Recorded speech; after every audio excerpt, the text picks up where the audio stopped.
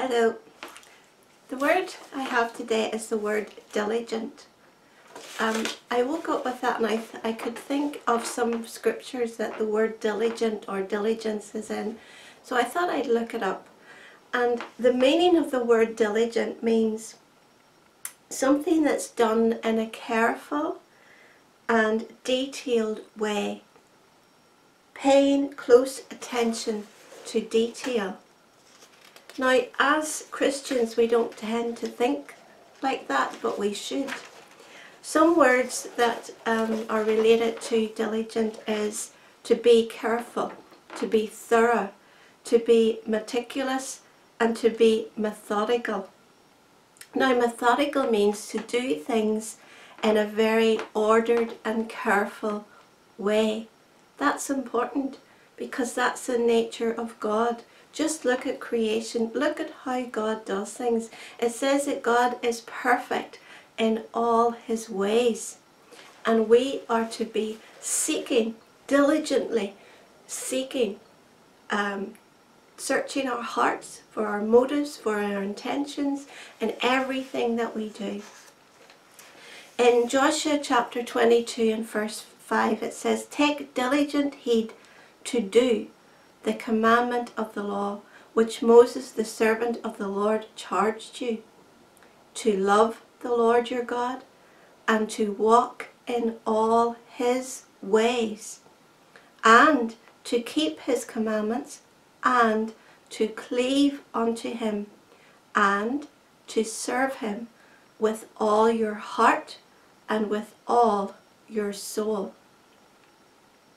That is how we are to serve the Lord not just half-heartedly, not now and again, but with all of our being, everything, with our mind, with our emotions, with our heart and our spirit, in everything that we do, we want to please the Lord. In Proverbs 4 and verse 23 it says, Keep thy heart with all diligence, for out of it are the issues of life. And Jesus reminded us about that. He said, out of the out of the, the heart flows every issue of life. That again, that's a very sobering thought to think I'm responsible for what's happening in my life.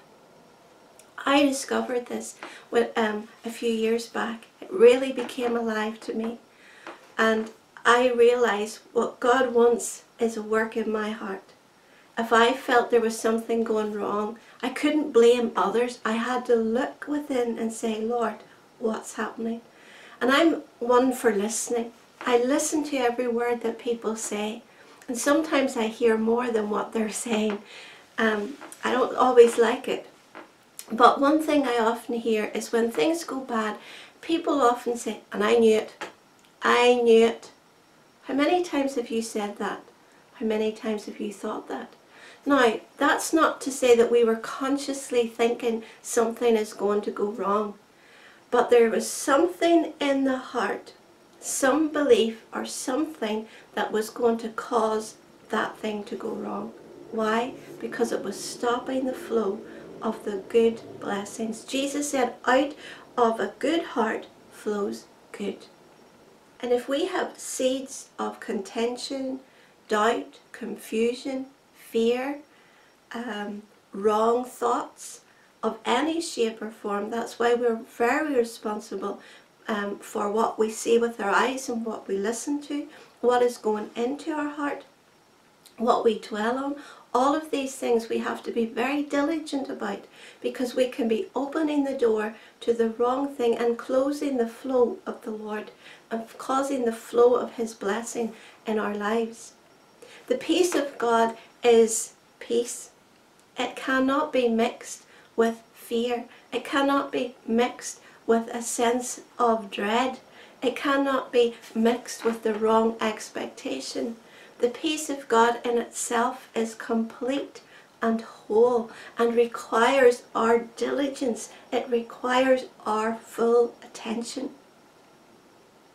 So I just want to leave that with you today. That it's not wrong it's very right to be concerned about every detail of your life, every thought, every imagination, everything goes into your ears, everything that goes into your eyes. Be responsible, be careful, be thorough, be meticulous, and be methodical. Be um, prepared to do everything in your life in a very ordered and careful way, especially the Word of God. You can never go to the Word of God and just take something out of context. It won't work. It can't work because God is a God of purpose. He's a God of order and He requires that order in our lives. Jesus is the truth. He is the life and He is the way. You see, the way has been prepared. The way has been made. And when we walk in the way of the Lord, we walk in the ways of the Lord, we will be walking in His righteousness and in His blessing and in His favour. Amen.